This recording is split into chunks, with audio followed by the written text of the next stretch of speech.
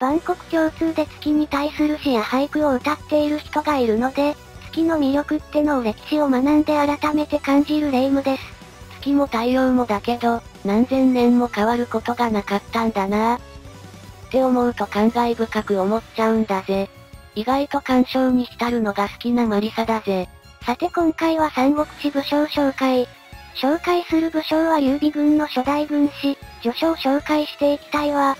なんか印象に残る人なのよね。三国志演義では、劉備が序将軍師にしたあたりから劉備軍は勝ち続けるんだよな。インパクトが強い男だぜ。さて、改めて紹介する武将は序書、あざ名を原曲。劉備に諸葛亮を推薦し、劉備の派領の後押しをした男。彼は一体どういった人物なんだ序書は当初は序福と名乗っていて、短歌の生まれだったみたい。この短歌ってのは権威のない家柄のことを指していて序書の家は貧乏だったようね。だから、序書は若い頃に人形と激剣を好んでたみたい。ちょっとした地元の悪だったということね。この時は天下が乱れていて悪人がそこらかしこにいたぜ。だから、弱気を助け強気をくじく人形って生き様が流行ったんだ。後に助手は人のために仇討ちをして、白土で顔を汚して髪を振り乱し、狂人のふりをして逃走したけど管理に捕まったわ。管理が助手の名を尋ねても彼は決して口を割らなかったので、管理は助手を車の柱に縛り付けて、太鼓を叩きながら市場中で助手のことを知っている人を探したけど、誰一人として助手のことを知らぬ存ぜぬ、とか言い出したので、管理は助手のことを処罰できなかったの。後に仲間が助手のことを助けに来たので、助手は命からがら逃げ出すことができたわ。助手はある程度、市場の人たちから慕われてたんだな。誰一人として助手の名前を言わなかったんだから。助手はまさか自分の命が助かるなんて思っておらず、この奇跡に感激したの。そして彼は逃亡先で第二の人生をスタートさせるわ。剣を捨てて、粗末な頭巾と衣服を着て、勉強をしようと決意するの。彼が塾に行って学問の勉強をするとみんなが、あの助手って野郎は過去に、仇討ちをした荒くれ者らしいぞ。と言い、助手と、一緒に勉強することを恥だと思い、誰も彼と一緒に勉強しようとしなかったわ。そりゃあ怖いよ。だって助手は過去に仇討ちをしている。切れたら何をするか分かったもんじゃない。まさに切れたナイフだぜ。いかにいい言葉を並べようとも過去に犯した罪は消えない。助手は心を入れ替えて、自分の信念を曲げて人に減り下り、早く起きて一人で掃除をし、静かに計画の授業を聞いてその教えを独自に解釈するの。すると同郷の石頭は助手と一緒に勉強をしてくれるようになり、彼と助手は親友同士になったの。石頭だけは助手は一緒に勉強をするだけの価値がある人物だと思ってくれたんだな。親友だぜ。189年頃、東卓が皇帝を保護して天下が荒れると、助手と石頭はここにいてはまずいと思い、慶州でお勉強をすることにするの。そこで彼が死と呼んだのが慶州の名士の芝木ね。そこで助手はあの諸葛亮孔明と出会って刺激を受けるのよ。まさかこれほどの賢人がこの世にいたとは。ってね、これが孔明との出会いか。当時、まだ20歳にもなっていなかった諸葛亮はかなりの自信家だったわ。彼は常日頃から、俺の才能は楽器や漢中ぐらい。いやそれ以上あるぞ。と言っていたの。ほとんどの賢人たちはこの諸葛亮の発言を笑ったんだけど、最終兵と助手だけは、諸葛亮にはそれぐらいの才能がある、として笑わなかったの。助手と一緒に諸葛亮を褒めた最終兵も面白い男で、彼の父親は名声のある祭列という男で、かなりの力を持っていた男だったのよ。だけど売館が行われた時に、彼はお金で参考の大尉という職業を買って、名声を地に落としたの。民たちはお金で官位を買った祭列のことを嫌ったんだぜ。諸葛亮を褒めてくれるのはそんなわけありの過去を持つ者同士の最終兵と助手しかいねえぜ。助手たちは諸葛亮と仲良くなり、彼らは留学することにしたの。諸葛亮、助手、石頭、猛犬らと共にね。助手、石頭、猛犬の3人は一生懸命学んだことを一から勉強するんだけど、諸葛亮は大筋だけを学ぶとあとは学ぼうとしなかったの。彼ら4人はとても仲が良くて、夜遅くまで決まっておしゃべりをしていたの。諸葛亮はここで3人に、君たちは、士官をすればきっと志士や軍主になれるだろう。と言ったわ。3人はふと疑問に思い、お前はどうなんだ？と聞いたものの、諸葛亮は笑うばかりでろくに答えもしなかったの。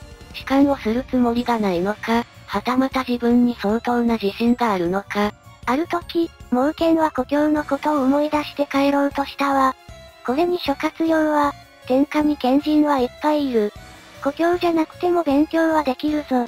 と言ったものの、猛犬は故郷に帰ったの。その後、猛犬は早々に仕えて諸葛亮の次に大出世するの。早々の義軍には相当優秀な人材がいる。途中入社で大出世をした猛犬はかなりの逸材だったんだぜ。猛犬も早々に仕官することになったので、助手も自然と主君を探していたのかも。そこで助手は流氷の元に身を寄せていた優美に出会うわ。優美は助手の才能を認めてすぐに登用したの。これはおそらく、当時の優美軍には軍師的な存在が一切おらず、優美軍の軍師はおそらく優美というありさまだったの。だから優美は、戦いのことや色々なことを勉強している助手の才能を欲したのよ。戦いってのは役割分担が大事だぜ。作戦から出陣まで全部するのは疲れるからな。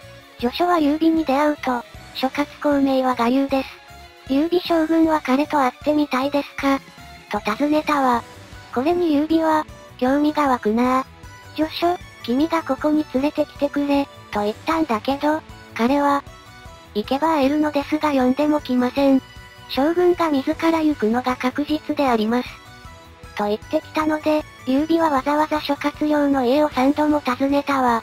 ほとんど、三国志演技と同じねここら辺は、劉備はなんとか諸葛亮を登用することに成功し、自分の進むべき道を教えられるわ。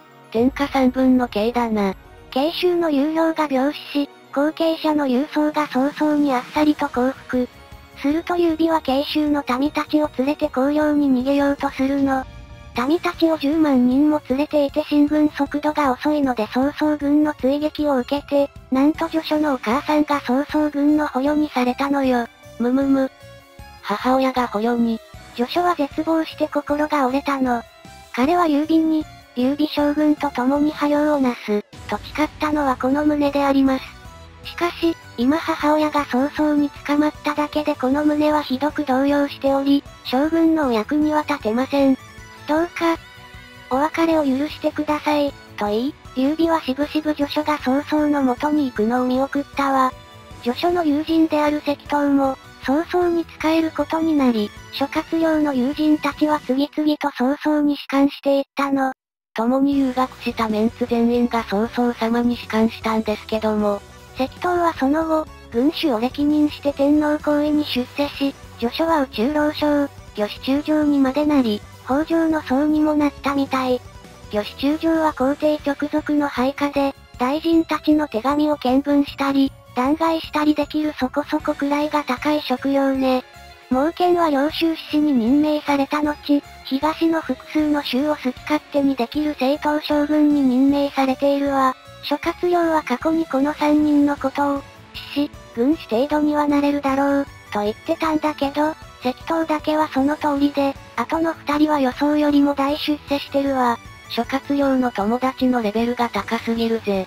諸葛亮がこの4人の中で一番出世し、職の上昇というナンバー2にまで成り上がったんだけど、諸葛亮はこの3人の友達のことは忘れておらず、後の北伐で帰山に赴陣した際に、芝居の使者の途中に猛犬によろしくお伝えください、という伝言を頼んでいたり、北伐をしている最中に助手と石頭が義でどの地位にあるか、知ると、義はなんと人材豊かなのだ。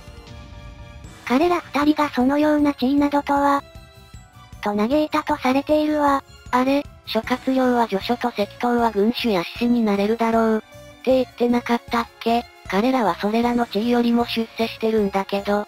そうね。だから私はこの諸葛亮の嘆きを、彼ら二人が職に仕官してくれれば大臣になれるだろうに、という意味だと考えているの。職の人材不足を悲しんだのよ。職は諸葛亮のワンオペで国を回しているぜ。確かに諸葛亮が一番出世したんだが、仕事の量が多すぎる。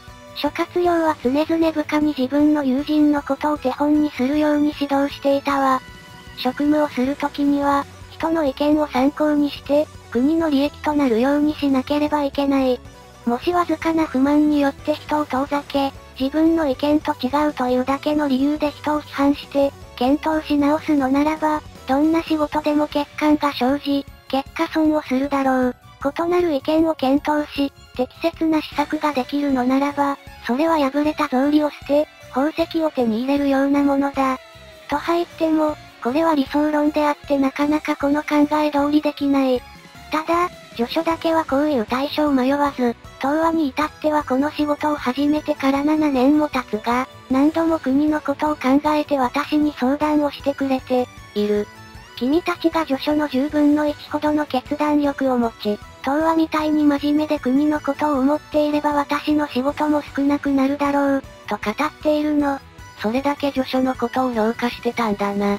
またある時には、昔私は最終兵と出会い、欠点を指摘された。助手には何度も教えられた。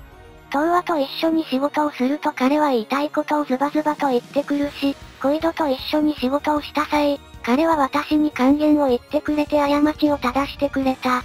私という人間の本質は暗愚で、この4人の全ての言葉をまだ受け入れられたわけ、ではないが、この4人とはなぜか気があった。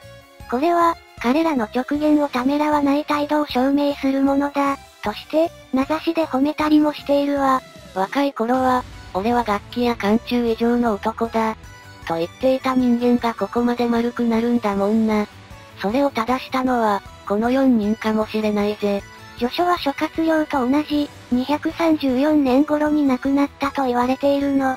不明な点が多く、謎が多い人物だったわ。彼が諸葛亮のことを劉備に推薦してくれたからこそ、三国志は面白くなっていったんだぜ。だからこそ、序書はこんなにも人気が出たと思うんだぜ。さて、いかがでしたでしょうか？今回の人物は、もしよければチャンネル登録や高評価をお願いいたします。感想のコメントや紹介してほしい武将のコメントも大歓迎だぜ。彼の活躍は多少地味だけど、彼がいたおかげで劉備は天下に羽ばたけたんだぜ。それじゃあ今回はここら辺で、まったねー。